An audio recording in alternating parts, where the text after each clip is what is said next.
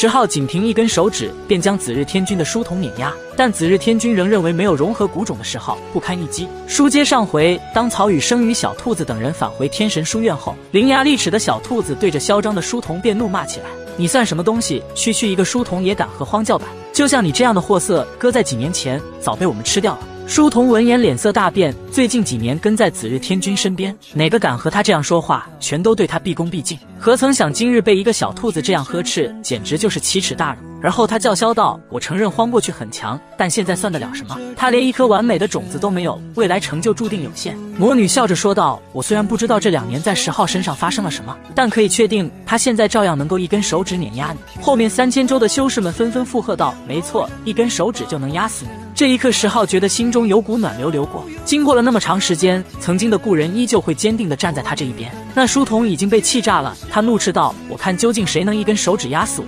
石浩冷淡地说道：“如你所愿。”而后他探出右手食指向前点去，速度不快，但沉重如山。书童瞳孔收缩，本能告诉他现在处境非常不妙，可却避无可避。任凭他浑身发光，释放出各种宝术抗衡这根手指，都毫无作用。最终那根手指压落到了他身上后，书童体内传来了骨碎的声音，他大口喷血，接着整个人便横飞了出去。十号仅仅一指，对方的胸部就已经塌陷，其他部位也扭曲的不成样子。难以想象他刚才承受了多么可怕的一击，整个人像是要瓦解了一般。正如魔女先前所说，十号一根手指就足以压死他。众人鸦雀无声。要知道，那个名为紫瞳的书童可不是一般人，追随在紫日天君身旁，平时得到的好处无法想象。可以说，就算是在两院中，书童也是个了不起的人物，称得上一代强者。然而，就是在这种情况下，他依旧被人一根手指碾压，这是何等的恐怖！尤其是先前不少人都猜测没有融合古种的时号已经走向了没落，可他出手之间依旧彰显出无敌之姿，让人有些难以置信。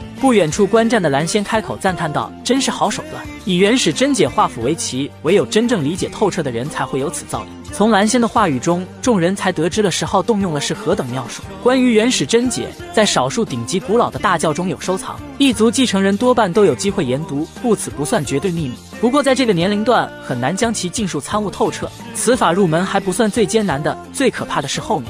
想要真正钻研通透，就是一些老古董都束手无策。但十号通过几次闭关悟道时，触动了原始真解的奥妙，并将其铭刻到了第一朵大道之花中，所以远比其他人理解的更深刻，不可想象。紧接着，紫日天君也说道：“传闻哪怕不修炼宝术，只要将原始真解参悟到最高境界，也能以最原始与朴质的古文拜尽诸敌。”其他人纷纷震惊，这两位强者是在认可十号，赞扬此法的高深莫测。紫日天君继续问道：“师兄，我还想继续说一遍，你当真没有得到一颗完美的种子吗？”十号依旧坦然回答：“没有得到绝世古种。”紫日天君摇头叹息道：“真是让人感到遗憾，像师兄这样的人，天纵神姿，却没有无暇道种，错过了人生的极致辉煌。原本我还想与你一战，了结心愿，现在看来，你让我失望了。”在紫日天君看来，没有得到古种的时候，已经失去了与他一战的资格，根本不配作为他的对手。那位被十号碾压的书童狗仗人势的叫嚣道：“主上若是出手，自然可以镇压一切大敌。区区一个荒，他绝不是天君的对手。”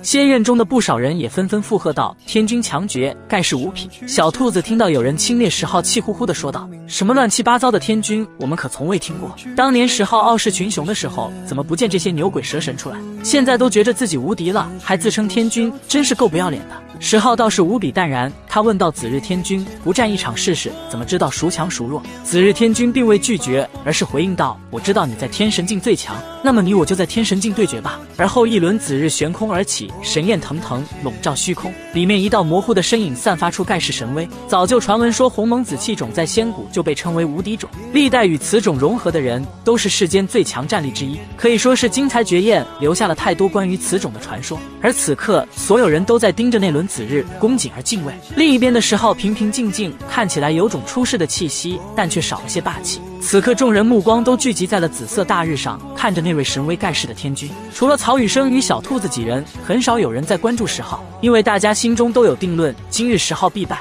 哪怕他曾经辉煌无敌，很快也会沦为紫日天君的踏脚石。紫日天君冷漠地说道：“来吧，天神境一战，让我看看你曾经究竟有多强，是否言过其实。”曹雨生与凤舞等人纷纷露出担忧之色。哪怕是天神境对决，也是吉凶难料。毕竟对方已经融合了一颗完美的种子，身体得到了全方位的进化。即便是整体实力压制到了天神境，依旧要比没有融合古种的十号强很多。十号对他们笑着说道：“无需担心。”而后举步迎向那轮紫色大日。仙院有人嘲讽道：“就凭他现在的实力，还真敢迎战紫月天君啊！”那些曾经被十号暴打的人，则是幸灾乐祸的说道：“他毕竟是荒嘛，曾经的年轻至尊，无论如何都要死战到底。”